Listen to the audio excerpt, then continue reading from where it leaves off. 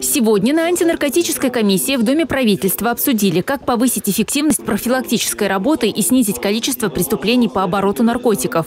В Чувашской республике за прошедший период текущего года зарегистрировано 737 преступлений в сфере незаконного оборота наркотических средств и психотропных веществ. Установлено 199 лиц, совершивших 667 преступлений с подконтрольными веществами. Наибольшее число из них приходится на долю наркогруппировок. Это 476 преступлений или 71,4% от общего количества раскрытых.